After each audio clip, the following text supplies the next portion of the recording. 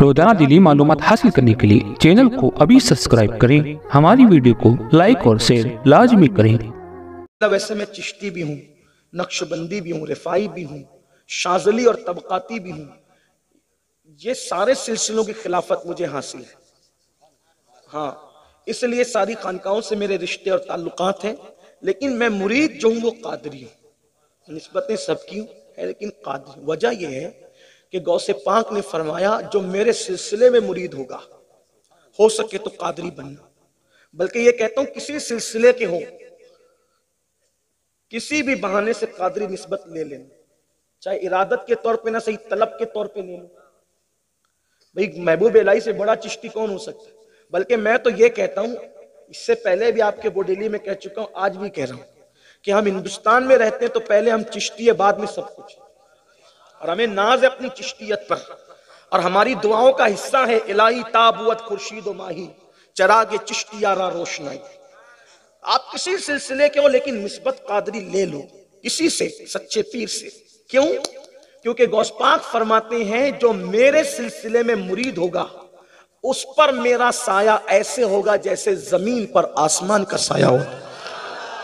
और मेरे अल्लाह ने मुझसे ये वादा किया कि अल्लाह ने मुझे ये इख्तियार दिया कि मैं अपने मुरीदों की हिमायत दुनिया में भी करता हूँ और आखिरत में भी उनकी हिमायत करूँगा। उस वक्त तक अब्दुल कादिर जन्नत में कदम नहीं रखेगा, जब तक कि अपने मुरीदों को अपने साथ न ले जाए। गौसपाक की निस्बत बड़ी चीज़ है। फरमाते हैं, अगर मेरा मुरीद मगरिब में हो और मैं मशरिक में रहूँ और मेरे मुरीद को ठोकर लगती है तो मैं हाथ पकड़कर उसे गिरने से बचा लिया करता इसलिए नस्बत कादरियत अगर हो सके तो ले लो दुनिया। हर सिलसिला अपना है सराखों पर है, लेकिन कादरी सिलसिला बहुत बड़ा है। इस सिलसिले की शान ही जुदा है। मैं बात खत्म कर रहा था, लेकिन कादरी सिलसिले की बात आई थी इजाज़त दे तो कह दू एक बार। गौसपा कहते, जो मेरे सिलसिले में मुरीद होगा, वो कभी बदबख्त नहीं होगा। कादरी सिलसिले की बात करूँ, फिर अल्लाह की अल्लाह की कसम मैं ज़्यादा ये इसको भी पसंद नहीं करता, लेकिन चूँकि लोग बहुत परेशान किए रहते हैं कि ये कह दिया, वो कह दिया ना? तो इस वजह से मैं आपको क्लियर कर रहा हूँ, बोडेली वालों, अल्लाह की कसम, मैं किसी सिलसिले के खिलाफ नहीं कह रहा हूँ कि सब सिलसिले अपने हैं, लेकिन कादरी सिलसिले जो है, वो है, समंदर समंदर है, नहर नहर है है ना? नहर तो गौसपाक के सिलसिले में जो मुरीद होता है, उसके बाल बाल से नूर निकलता है। सिर्फ़ मुरीद होने पे, उसके बाल बाल से नूर निकलता है।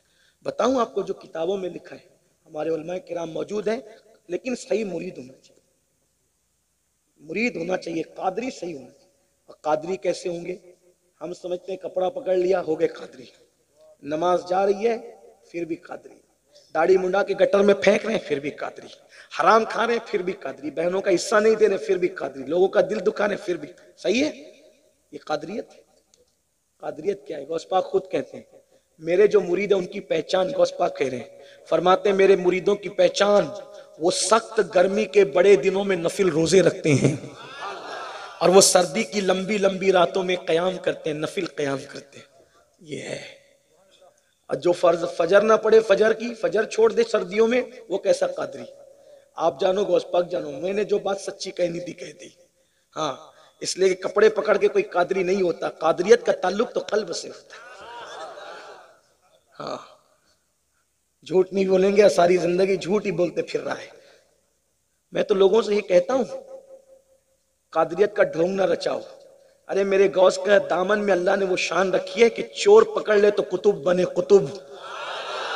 तुमने कौन सा दामन पकड़ा कि अभी तक नमाजी ना बने? जुमा की दो रेकत पढ़ के ऐसे भागते हो, जैसे स्कूल की छुट्टी होने पर क्लासरूम से बच्चे भागते हैं।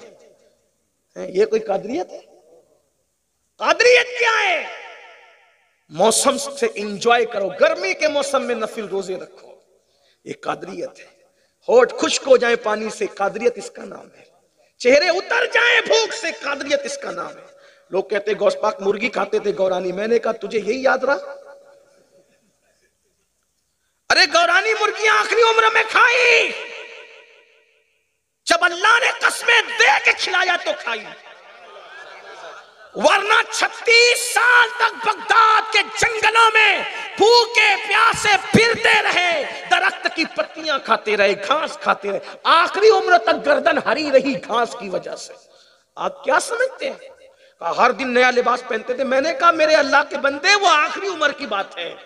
गौसपाक कहते हैं, जब मैं मुजाहिदा करता था तो एक लुंगी के अलावा ऊपर का कुर्ता भी मुझे मयसर नहीं आता था। भूख प्यास की वजह से मैं बेहोश होकर ज़मीन पे गिर पड़ता था।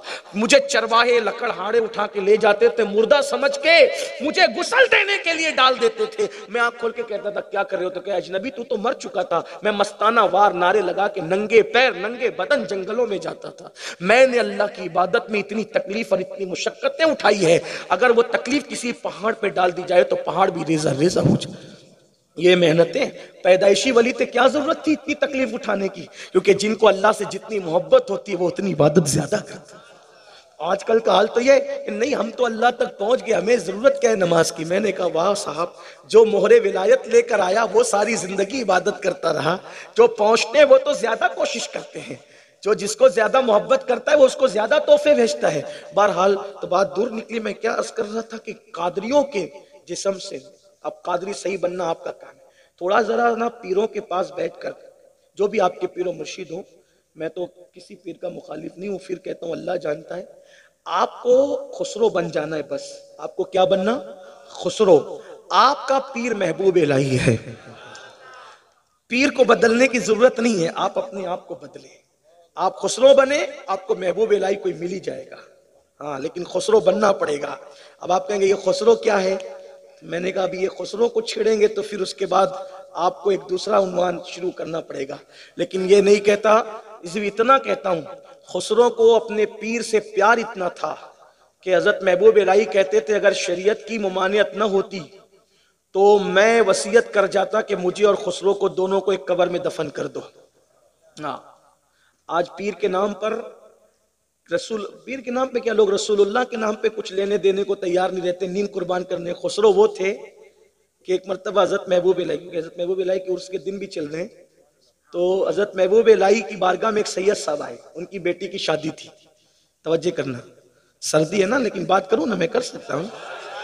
हाँ तो अभी बोडेली छह महीने के बाद ही आना, अभी नहीं आना, यानी और उसके बाद इंशा हाँ तो कुछ बात कर लेते हैं। हालाँकि मौलाना की बात गुफ्तु बहुत अच्छी गुफ्तु होती है मौलाना की मिस भाई साहब की उनकी गुफ्तु के बाद मेरी गुफ्तु की कोई ज़रूरत और हाजत नहीं है। एक साल के बाद की बाद ना मेरे भाई, यार तुम पकड़ लेते हो ये हमारे पुराने साथी लोग हैं, ये बहुत पकड़ते हैं। मुझे भी अच्छा लगता है। कुछ अपने होते हैं जो बेतकल्लुफ होते हैं। तो मैं मैं बात क्या कर रहा था? महबूब इलाही का ज़िक्र। महबूब इलाही के बाद एक सैयद साहब आए। उनकी बेटी की शादी थी। देखो, मुसीबत में जो किसी को याद आए ना यानी ऐसा लेने देने वाला आदमी, मददगार आदमी, कि जो लोगों को मुसीबत में याद आए, आका फरमाते हैं, जो किसी को मुसीबत में याद आए कि भाई चलो, वहाँ चलो, वो अपनी मुसीबत दूर कर देगा तो वो ज़मीन पे वो बंदा है, अगर जन्नती किसी को देखना है तो उसको देख लो।